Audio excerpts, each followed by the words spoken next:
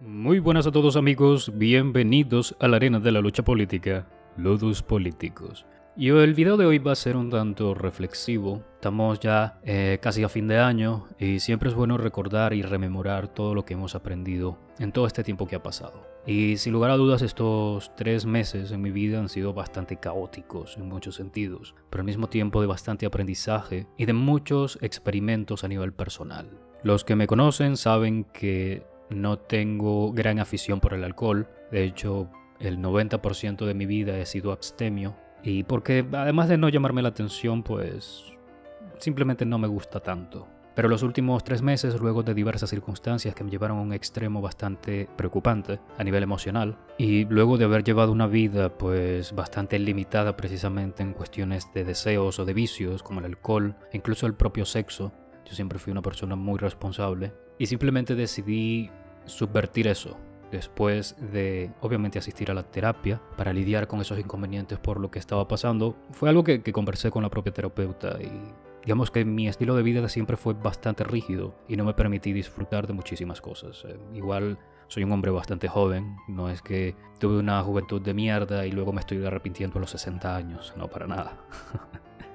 Solo que las circunstancias de la vida me llevaron a tomar esa clase de decisiones. De siempre estar. de siempre ser muy responsable conmigo mismo y con la gente que me rodea. Sin embargo, eso cambió. Pero en este video voy a hablarles solo y exclusivamente del tema del alcohol. Del video sobre el sexo, eso va para otro lado, si es que les interesa saber eso. A este proceso yo lo llamo perder el control teniendo el control porque evidentemente a pesar de que bebí muchísimo estos dos meses y medio, pues no es algo que me genere ansiedad no hacerlo. Tal cual como se los mencioné, fui abstemio una enorme parte de mi vida. No consumía ni una gota de alcohol, salía con amigos y no bebía nada, aunque me ofrecían por todos lados. Creo que cuando dices que no tomas te ofrecen más alcohol. Por alguna extraña razón a la gente le gusta que bebas, porque sí, mi primera borrachera fue hace creo que cuatro años, precisamente en un grupo de amigos, y yo decidí emborracharme. Yo me dije, tengo que hacer esto, tengo que probar esto, tengo que saber qué carajos se siente amanecer con una resaca en donde te quieres matar. Lo hice, me emborraché, el día siguiente fue un asco, una vergüenza. No podía levantarme de mi cama, estaba mareado todo el tiempo, ni siquiera podía comer, porque esa es una trampa del propio cuerpo tienes que alimentarte para acabar con, ese, con esos síntomas de la resaca, pero al mismo tiempo tu cuerpo rechaza cualquier cosa que quieras comer porque te dan ganas de vomitar. Así que te jodes, pero luego de esa primera borrachera no bebí más como por un año y medio, o dos años. No me quedaron ganas, honestamente. Pero curiosamente este año fui un poco más abierto al consumo de alcohol. Digamos que me bebía uno o dos cervezas por allí, pero nada que fuese demasiado extremo. Luego en septiembre, cuando me pasaran algunas cosas pues bastante feas, me dije, tengo que experimentar cosas nuevas. Tengo que hacer cosas nuevas, cosas que no me permití en una etapa de mi vida. Y allí fue cuando dije, voy a beber alcohol semanalmente. Y bueno, más o menos eso fue lo que hice. Tal vez un fin de semana no bebí, pero en términos generales bebí alcohol durante 8 o 9 semanas consecutivas. No porque estuviese deprimido, de hecho, con el paso del tiempo me he sentido muchísimo mejor precisamente por asistir a terapia, por ejercitarme. Llevo también en el gimnasio más o menos al mismo tiempo, dos meses y medio, y ya estoy notando resultados en mi cuerpo. Y no solamente en mi cuerpo, sino también en mi mente. Estoy cambiando mis hábitos alimenticios y como muchísimo mejor. Así que esta decisión no fue por depresión, por tristeza, por melancolía, sino fue una decisión bien pensada y bien tomada porque quería experimentar eso. Y luego de todo este tiempo puedo decir que es una de las más grandes estupideces que puede hacer un ser humano, beber todas las semanas. Además de ser muy desgastante para el cuerpo, es al mismo tiempo un desperdicio de dinero. No importa si te sobra el dinero, no importa si no tienes dificultades económicas. Incluso aunque te sobre el dinero, gastar dinero en alcohol es una idiotez. y más cuando bebes hasta la inconsciencia porque es básicamente pagar por joderte a ti mismo. Ojo, no, no estoy en contra de que se consuma alcohol, sino que viéndolo bien es una tontería. y claro, todo esto lo estoy diciendo desde una perspectiva muy personal. No les estoy diciendo a ustedes qué tienen que hacer ni cómo hacer, ni los estoy insultando, sino que esto lo estoy viendo desde mi perspectiva y según mi propia experiencia y según el propio experimento que practiqué en mí mismo. Pero ciertamente mi experiencia no puede extrapolarse a todo el mundo porque yo conscientemente decidí tomar alcohol por ese tiempo y conscientemente estoy sacando estas conclusiones y conscientemente dije, hasta aquí llego. No voy a hacerlo más. Y eso es lo que voy a hacer. Volveré a mi camino de ser abstemio porque me parece muchísimo mejor, me parece más saludable a nivel emocional, a nivel físico y a nivel de salud en general. Una de las cosas interesantes del alcohol es que te vuelve un tanto más introspectivo pero de una manera destructiva. Cuando estás borracho, comienzas a pensar en absolutamente todo lo malo que te sucedió en la vida, pero no lo razonas, simplemente comienzas a darle vueltas al asunto, aunque bueno, eso forma parte del razonamiento también, pero a lo que voy es que no lo haces de una manera objetiva, sino más bien autodestructiva. Y eso fue una de las cosas que no me agradó del alcohol.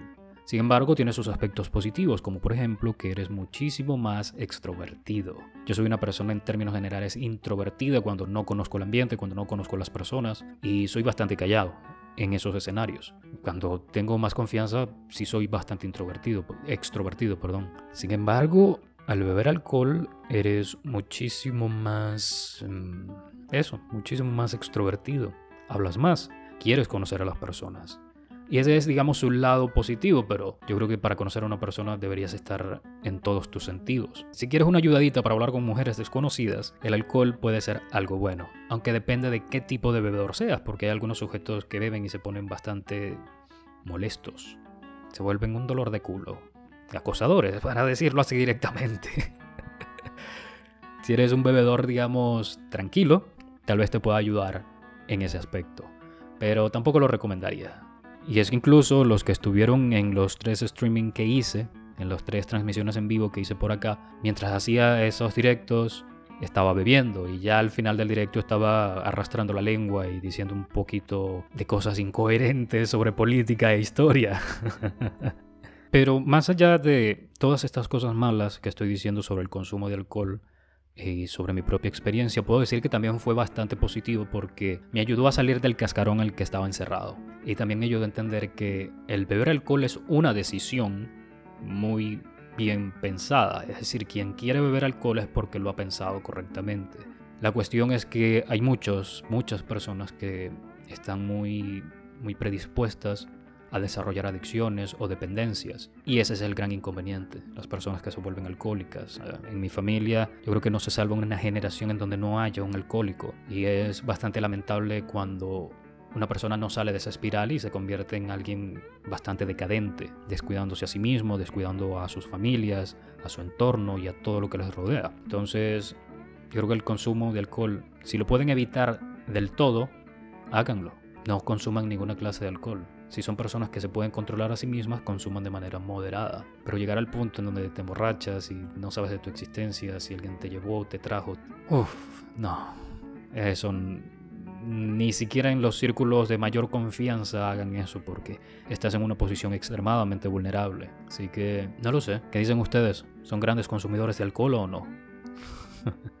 Las otras anécdotas relacionadas a la sexualidad, tal vez haga otro video para el próximo año, el 2022. O bueno, no sé, vamos a ver qué se me ocurre. Si tengo el tiempo, hago otro, otro video y, y les cuento mi experiencia sobre eso. Porque para mí, estos tiempos van a ser de experimentación personal en muchísimos sentidos, físico y mental. Y 2022 también va a ser otro año de muchos experimentos, porque pretendo viajar, viajar a otros países y ver qué tal sale el asunto. Entonces, Muchas gracias por escucharme a los que siguen acá. E incluso habrán notado que no he subido videos con tanta frecuencia precisamente por ese proceso mental por el que estaba. Sí he hecho un par de directos, pero no es lo mismo ponerse a escribir y analizar algo, porque lleva muchísimo más trabajo, muchísimo más nivel de concentración, y por eso he tenido un poquito abandonado el canal en ese ámbito.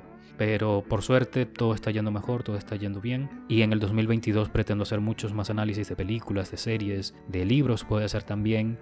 Y me gustaría que ustedes siguieran acá, acompañándome y haciendo crecer el canal, que ya casi llega a los 20.000 suscriptores. Sé que en términos de YouTube 20.000 suscriptores no son la gran cosa, pero son lo suficientes como para hacerme sentir bastante bien. Y que mi trabajo, lo que hago acá, que para mí es un pasatiempo, tiene alguna clase de valor. Así que muchísimas gracias por escucharme y hasta pronto.